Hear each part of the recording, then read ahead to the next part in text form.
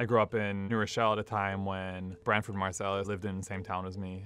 When I was in high school, I started studying with Branford, and um, I was really excited about music at that time, and maybe less so about my academics. I ended up going to Columbia in my undergrad, and I ended up studying math and economics.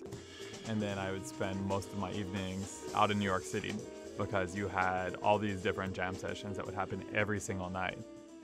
I had also dabbled just a little bit in computer science, just enough to sort of learn how to program and get kind of interested. Something about the atmosphere of being a PhD student appealed to me. I moved out to San Francisco a year in advance of when I would start my PhD. And I ended up getting involved in a startup that was founding right around that time.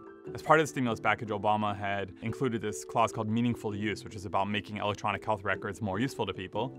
Even before I had like the right vocabulary or even knew what I was doing in terms of the right tools that was addressing certain kinds of problems that you might describe as like medical informatics type problems. And I knew that I wanted to do a PhD in machine learning and study sort of artificial intelligence.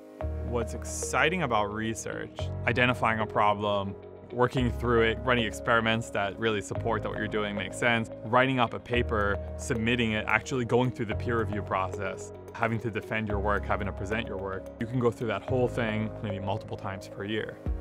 You don't have success in research because you become a master of every single aspect of every single problem. You just have to pick one problem that other people overlooked and you make a dent on it. Even before I knew how to train a model, I identified a problem and how people evaluate them.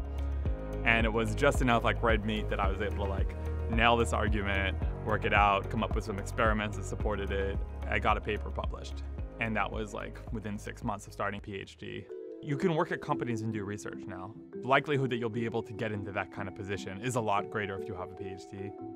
I was three and a half years into PhD and not exactly thinking about graduating. I had just done a long internship at uh, Microsoft Research and was uh, planning to just get back home and I got like a message, I got an email to interview for this position and they asked me to come interview at CMU. So I've been a professor at Carnegie Mellon since January 2018. At CMU, we have amazingly good PhD students. You teach them and you invest a ton of time with them, and then you write the second paper, and they've learned. And they're even like calling you on things that like you know that you know that they learned it because you taught them. You know they've become like a peer.